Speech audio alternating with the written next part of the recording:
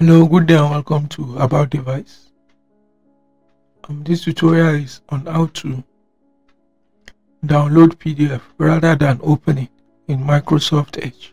So in order to change these settings, go to the top right hand corner, the three dotted line, press on it, then click on settings, settings. So open settings. So the settings window will open. So in order to download PDF as default, click on cookies and site permission. Cookies and site permission. Then scroll down to PDF.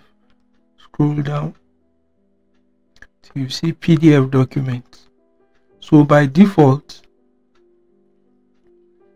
by default, uh, PDF are meant to be viewed, not downloaded. So if you want to automatically download or always download PDF, just press this and automatically once you click on a link to a PDF, by default it will be downloaded. So thanks for watching this tutorial. Please subscribe to About Device. Thank you.